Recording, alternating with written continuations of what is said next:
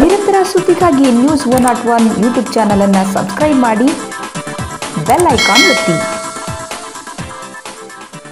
ನಮ್ಮ ರಾಜ್ಯದಲ್ಲಿ ಬೆಂಗಳೂರು ನಂತರ ಮೈಸೂರು ಜಿಲ್ಲೆ ಎರಡನೇ ಅತಿ ಹೆಚ್ಚು ಸೋಂಕಿತರು, ಕೋವಿಡ್ ಸೋಂಕಿತರು ಇರ್ತಕ್ಕಂಥ ಜಿಲ್ಲೆಯಾಗಿದೆ ಸಾವಿನ ಪ್ರಮಾಣ ಕೂಡ ಸ್ವಲ್ಪ ಹೆಚ್ಚಾಗ್ತಾ ಇರೋದ್ರಿಂದ ಆತಂಕ ಉಂಟು ಮಾಡಿ ನಾನು ಇವತ್ತು ಹಠಾತ್ತಾಗಿ ಭೇಟಿ ಕೊಡುವಂಥದ್ದಾಗಿದೆ. ಮತ್ತು ಹೊಸ ಆಡಳಿತ ವ್ಯವಸ್ಥೆ ಇವತ್ತು ಮಾನ್ಯ ಜಿಲ್ಲಾಧಿಕಾರಿಗಳು ಸಿ ಓರವರು ಕೂಡ ಕಳೆದ ಒಂದು ವಾರ ಹತ್ತು ದಿವಸದಲ್ಲಿ ಬಂದಿರೋದ್ರಿಂದ ಎಲ್ಲ ವಿಚಾರಗಳನ್ನು ನಮ್ಮ ಚುನಾಯಿತ ಪ್ರತಿನಿಧಿಗಳು, ನಮ್ಮ ಹಿರಿಯರಾದಂಥ ವಿಶ್ವನಾಥ್ರವರು ಮತ್ತು ನಾಗೇಂದ್ರ ಅವರು ಮರಿತಿಬ್ಬೇಗೌಡರು ಹೀಗೆ ಶಾಸಕರು, ಸ್ನೇಹಿತರುಗಳು ಜೊತೆಯಲ್ಲಿದ್ದರು. ಮಾನ್ಯ ಜಿಲ್ಲಾ ಉಸ್ತುವಾರಿ ಸಚಿವರು ಮೊನ್ನೆ ತಾನೇ ಇಲ್ಲಿದ್ದರಿಂದ ಅವ್ರು ಹೋಗಿ ಸಭೆಯನ್ನು ಮಾಡ್ಕೊಂಡು ಬನ್ನಿ, ಮತ್ತೆ ನಾವು ಸೇರಿ ಸಮಾಲೋಚನೆ ಮಾಡೋಣ ಅಂತೇಳಿ ಮಾನ್ಯ ಎಸ್ ಟಿ ಸೋಮಶೇಖರ್ ಅವರು ಹೇಳಿದ್ದಾರೆ.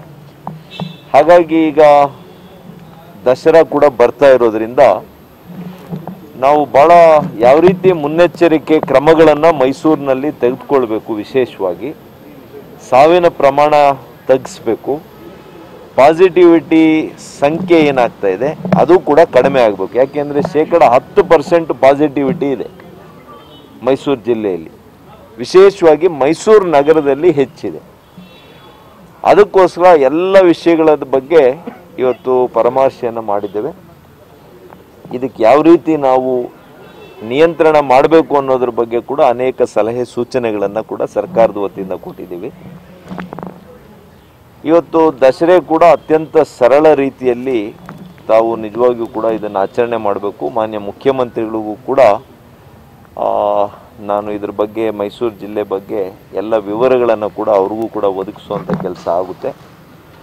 ತಾವೆಲ್ಲ ನೋಡಿದ್ದೀರಿ, ಕೇರಳ, ನೆರೆಯ ಕೇರಳ ರಾಜ್ಯದಲ್ಲಿ ಓಣಂ ಹಬ್ಬವನ್ನು ಅವರು ಸ್ವೇಚ್ಛೆಯಿಂದ ಭಾಳ ಸಡಗರದಿಂದ ಆಚರಣೆ ಮಾಡಿದ್ದರಿಂದ ಯಾವುದೇ ನಿಯಂತ್ರಣ ಅಲ್ಲಿ ಕೂಡ ತೆಗೆದುಕೊಳ್ಳೋದ್ರಲ್ಲಿ ಎಲ್ಲೋ ಒಂದು ಕಡೆ ವಿಫಲ ಆಗಿದ್ದರಿಂದ ಪ್ರತಿ ದಿವಸ ಇವತ್ತು ಇಡೀ ದೇಶದಲ್ಲಿ ಕಡಿಮೆ ಇದ್ದಂಥ ರಾಜ್ಯ ಇವತ್ತು ಒಂದು ದಿವಸಕ್ಕೆ ಎಂಟು ಸಾವಿರ, ಒಂಬತ್ತು ಸಾವಿರ ಪಾಸಿಟಿವಿಟಿ ರೇಟ್ಸು ಬರ್ತವೆ ಸೋಂಕಿತರ ಪ್ರಮಾಣ ಆಗ್ತಾ ಇದೆ.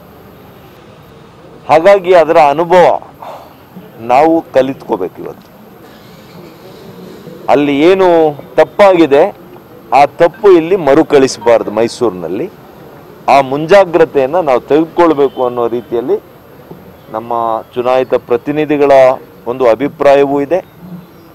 ಜಿಲ್ಲಾಧಿಕಾರಿಗಳು ಮತ್ತು ಜಿಲ್ಲಾಡಳಿತದ ಅಭಿಪ್ರಾಯವೂ ಆಗಿದೆ.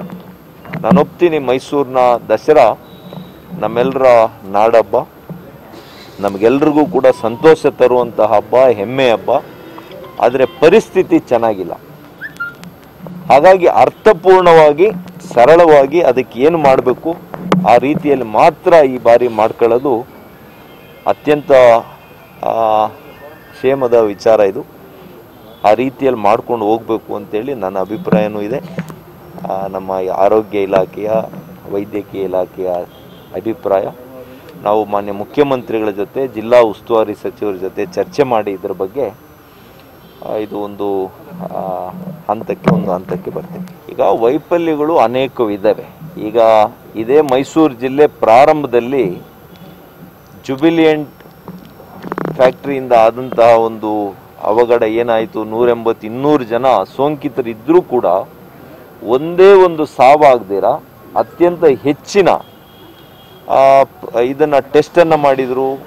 ಅವ್ರನ್ನೆಲ್ಲ ಕೂಡ ಗುಣಮುಖರು ಮಾಡಿ ಮೈಸೂರು ಇಡೀ ರಾಜ್ಯಕ್ಕೆ ಒಂದು ಒಳ್ಳೆಯ ಜಿಲ್ಲೆ ಅಂತೇಳಿ ಹೆಸರು ಕೂಡ ಗಳಿಸಿತ್ತು. ಆದರೆ ಕ್ರಮೇಣ ತಮಗೆ ಗೊತ್ತಿದೆ ಒಂದು ವೈದ್ಯರು ಸಾವಾಯಿತು ಇಲ್ಲಿ. ಅದಾದ ಮೇಲೆ ಕೆಲವು ಅಧಿಕಾರಿಗಳು, ಆರೋಗ್ಯ ಕ್ಷೇತ್ರದಲ್ಲಿರ್ತಕ್ಕಂಥ ಅಧಿಕಾರಿಗಳು, ನಮ್ಮ ವೈದ್ಯರುಗಳು ಇದನ್ನು ಸ್ಟ್ರೈಕನ್ನು ಮಾಡಿ ಕೆಲವು ದಿನಗಳು ಅಲ್ಲಿ ನಾವು ಟೆಸ್ಟ್ಗಳನ್ನು ಮಾಡಲಿಕ್ಕಾಗಲಿಲ್ಲ. ಮತ್ತು ಬೇರೆ ಬೇರೆ ಜಿಲ್ಲೆಗಳಿಂದ ಇವತ್ತು ನಿಮಗೆ ಕೇರಳ ಮತ್ತು ತಮಿಳುನಾಡು ಎರಡೂ ಕೂಡ ಭೌಗೋಳಿಕವಾಗಿ ನಿಮಗೆ ಬಾರ್ಡರ್ಸ್ ಇದೆ ಮೈಸೂರಿನಲ್ಲಿ. ಹಾಗಾಗಿ ಅಲ್ಲಿಂದ ಕೂಡ ಜನರು ಬಂದಿರುವಂತಹ ಸಂಭವ ಇದೆ. ಮತ್ತು ನಮ್ಮ ನಾಗರಿಕರ ನಿರ್ಲಕ್ಷ್ಯ ಕೂಡ ಸ್ವಲ್ಪ ಕಾರಣ ಕೂಡ ಇದೆ. ಖಾಸಗಿ ಆಸ್ಪತ್ರೆಗಳು ಕೂಡ ಮೈಸೂರಿನಲ್ಲಿ ಇವತ್ತು ಅವರ ಸಹಭಾಗಿತ್ವದಲ್ಲಿ ಇದನ್ನು ನಾವು ನಿಯಂತ್ರಣಕ್ಕೆ ತರಬೇಕಾಗಿದೆ. ಅವರು ಕೂಡ ಕೈ ಜೋಡಿಸ್ಬೇಕಾಗಿದೆ ಜಿಲ್ಲಾಡಳಿತ ಜೊತೆ. ಅದರ ಬಗ್ಗೆ ಕೂಡ ಜಿಲ್ಲಾಧಿಕಾರಿಗಳಿಗೆ ಇವಾಗ ಸೂಚನೆಯನ್ನು ಕೊಟ್ಟಿದ್ದೇವೆ. ಅವರು ಕೂಡ ಬಂದರೆ ಬಹುಶಃ ಮುಂದಿನ ದಿನಗಳಲ್ಲಿ ಅವರ ಪಾತ್ರನೂ ಹೆಚ್ಚಾದರೆ ಹಾಸಿಗೆಗಳು ಮತ್ತು ರೋಗಿಗಳಿಗೆ ಏನು ಚಿಕಿತ್ಸೆ ಕೊಡೋದರಲ್ಲಿ ಎಲ್ಲಿ ಕೂಡ ಲೋಪ ಆಗಲ್ಲ. ಇವತ್ತು ಸಾವಿನ ಪ್ರಮಾಣನೂ ಕಡಿಮೆ ಮಾಡಬೇಕು ಪಾಸಿಟಿವಿಟಿಯನ್ನು ಕಡಿಮೆ ಮಾಡಿ ಈಗ ಜಿಲ್ಲಾಧಿಕಾರಿಗಳು ನಮಗಿನ್ನು ಎರಡು ವಾರ ಕೊಡಿ ಸರ್. ನಮಗೆ ಸಮಯ ಕೊಡಿ. ಎರಡು ವಾರದ ಒಳಗಡೆ ನಾವು ಬೇರೆ ಜಿಲ್ಲೆಗಳಿಗಿನ್ನ ಒಳ್ಳೆಯ ಒಂದು ಜಿಲ್ಲೆ ಅಂತ ತೋರಿಸ್ಕೊಡ್ತೀವಿ. ನಾವು ನಿಯಂತ್ರಣ ಮಾಡ್ತೀವಿ ಅಂತ ತುಂಬು ವಿಶ್ವಾಸದಿಂದ ನಮಗೆ ವಿಶ್ವಾಸವನ್ನು ಮೂಡಿಸಿದ್ದಾರೆ. ದಸರಾಯಿಂದ ಕೋವಿಡ್ ಮೇಲೆ ಯಾವ ರೀತಿ ಪರಿಣಾಮ ಆಗುತ್ತೆ ಅನ್ನೋದ್ರ ಬಗ್ಗೆ ಈಗಾಗಲೇ ನಾನು ಚರ್ಚೆ ಮಾಡಿದ್ದೀನಿ. ಚರ್ಚೆಯಲ್ಲಿ ವ್ಯಕ್ತ ಆಗಿದೆ. ಅನೇಕ ಸಂದೇಹಗಳು ವ್ಯಕ್ತ ಆಗಿದೆ. ಬಹಳ ಹೆಚ್ಚಿನ ಜನ ಸೇರಿದಾಗ ಸ್ವಾಭಾವಿಕವಾಗಿ ಕೋವಿಡ್ ಹೆಚ್ಚಾಗುತ್ತೆ ಅಲ್ವಾ? ಇದು ಗೊತ್ತಿರತಕ್ಕಂಥ ಸದ್ಯ, ಸತ್ಯ ನಮಗೆಲ್ರಿಗೂ ಕೂಡ. ಅದಕ್ಕೇನೆ ಇವತ್ತು ಸರಳ ರೀತಿಯಲ್ಲಿ ದಸರಾ ಆಚರಣೆ ಆಗಬೇಕು ಅನ್ನೋದು ಮೊದಲು ಅರವತ್ತೈದು ವರ್ಷ ಮೇಲ್ಪಟ್ಟು ಯಾರೆಲ್ಲ ಇದ್ದಾರೆ, ಹಿರಿಯ ನಾಗರಿಕರು, ಅವರ ಸರ್ವೆ ಆಗಬೇಕು. ಅದರಲ್ಲಿ ಕೋಮಾರ್ಬಿಡಿಟಿ, ಇತರ ಕಾಯಿಲೆಗಳಿರ್ತಕ್ಕಂಥವರನ್ನು ಮೊದಲು ಅವರಿಗೆ ಸ್ವ್ಯಾಬ್ ಟೆಸ್ಟ್ ಮಾಡಬೇಕು. ಎರಡನೇದು ಅವರಿಗೆ ರಿವರ್ಸ್ ಇವತ್ತು ಅಲ್ಲಿ ಹಾಸ್, ಇದು ನಮ್ಮ ಐಸೋಲೇಷನ್ ಮಾಡಬೇಕು. ರಿವರ್ಸ್ ಐಸೋಲೇಷನ್ ಮನೆಗಳಲ್ಲಿ ಅವ್ರ ಮನೆಗಳಿಂದ ಹೊರಗೆ ಬರ್ತಿದ್ದಂತೆ ಅವರನ್ನು ರಕ್ಷಣೆಯನ್ನು ಮಾಡಬೇಕು. ಇದು ಮೊದಲನೇ ಕೆಲಸ. ಎರಡನೇದು, ಒಬ್ಬ ಪಾಸಿಟಿವ್ ಟೆಸ್ಟ್ ಬಂದರೆ ಅವನಿಗೆ ಪ್ರಥಮ ಮತ್ತು ದ್ವಿತೀಯ ಸಂಪರ್ಕಗಳನ್ನು ನಲವತ್ತು ಗ, ನಲವತ್ತೆಂಟು ಗಂಟೆಗಳ ಒಳಗಡೆ ಕನಿಷ್ಠ ಹತ್ತು ಜನರನ್ನು ಗುರುತಿಸಿ ಅವರಿಗೆ ಟೆಸ್ಟನ್ನು ಮಾಡಬೇಕು. You catch the infection early infection ಭಾಳ ಮುಂಚಿತವಾಗಿಯೇ ನೀವು ಅದನ್ನ ಕಂಡುಹಿಡಿದ್ರೆ ಅದಕ್ಕೆ ಚಿಕಿತ್ಸೆನೂ ಬಹಳ ಸುಲಭ ಆಗ್ತದೆ. ಸಾವಿನ ಪ್ರಮಾಣ ಕೂಡ ಸ್ವಾಭಾವಿಕವಾಗಿ ಕಡಿಮೆ ಆಗ್ತದೆ. ವೆಂಟಿಲೇಟರ್ನಿಂದ ಕಡಿಮೆ ಇರೋದ್ರಿಂದ ಸಾವಾಗ್ತಾ ಇಲ್ಲ. ಆಕ್ಸಿಜನ್ ಬೆಡ್ಸು ಬಹಳ ಮುಖ್ಯ. ಅದಕ್ಕೋಸ್ಕರನೇ ನಾವು ಎಲ್ಲ ಮೆಡಿಕಲ್ ಕಾಲೇಜಸಲ್ಲಿ ತಮಗೆ ಗೊತ್ತಿರಲಿ by the by October end ಮೂವತ್ತ್ಮೂರು ಸಾವಿರ ಹಾಸಿಗೆಗಳಿಗೆ ಆಕ್ಸಿಜನ್ನ ಅಳವಡಿಸುವಂಥ ಕೆಲಸ ಕಳೆದ ಒಂದೂವರೆ ತಿಂಗಳಿಂದ ಮಾಡ್ತಾ ಇದ್ದೀವಿ. ಅದು ವೈದ್ಯಕೀಯ ಶಿಕ್ಷಣ ಇಲಾಖೆ ಆರೋಗ್ಯ ಇಲಾಖೆ. ಇಡೀ ರಾಜ್ಯದಲ್ಲಿ. ಬೆಂಗಳೂರು ಮೈಸೂರು ಸೇರಿದಂಗೆ. ಮೈಸೂರಿನಲ್ಲಿ ನಮ್ಮ ವೈದ್ಯಕೀಯ ಕಾಲೇಜ್ ಇದೆ. ಅದರಲ್ಲಿ ಆಸ್ಪತ್ರೆಯಲ್ಲಿ ಮತ್ತು ಜಿಲ್ಲಾ ಆಸ್ಪತ್ರೆಯಲ್ಲಿ ತಾಲೂಕು ಆಸ್ಪತ್ರೆಯಲ್ಲಿ ಸಮುದಾಯ ಚಿಕಿತ್ಸಾ ಕೇಂದ್ರಗಳಲ್ಲಿ ಕೂಡ. ಇಲ್ಲ ನಾನು ಜಿಲ್ಲಾ ಉಸ್ತುವಾರಿ ಸಚಿವರು ನಮ್ಮ ಆರೋಗ್ಯ ಸಚಿವರು ಮಾನ್ಯ ಮುಖ್ಯಮಂತ್ರಿಗಳು ನಾವು ಸಭೆ ಸೇರಿ ಇದರ ಬಗ್ಗೆ ದೀರ್ಘವಾಗಿ ಸಮಾಲೋಚನೆ ಮಾಡಿ ಇದರ ಸಾಧಕ ಬಾಧಕಗಳನ್ನೆಲ್ಲ ಕೂಡ ಅರ್ಥ ಮಾಡ್ಕೊಂಡು ಅಂತಿಮವಾಗಿ ಸರ್ಕಾರ ಮಾನ್ಯ ಮುಖ್ಯಮಂತ್ರಿಗಳು ತೀರ್ಮಾನವನ್ನು ಮಾಡ್ತಾರೆ. ಈಗಾಗಲೇ ನಾನು ಪ್ರಾರಂಭದಲ್ಲಿ ಸೂಕ್ಷ್ಮವಾಗಿ ತಮಗೆ ತಿಳಿಸಿದ್ದೀನಿ.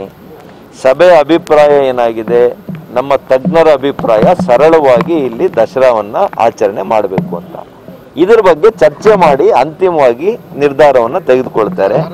ಅಲ್ಲಿವರೆಗೂ ಸ್ವಲ್ಪ ತಾವು ಸಮಾಧಾನದಿಂದ ಇರಬೇಕು.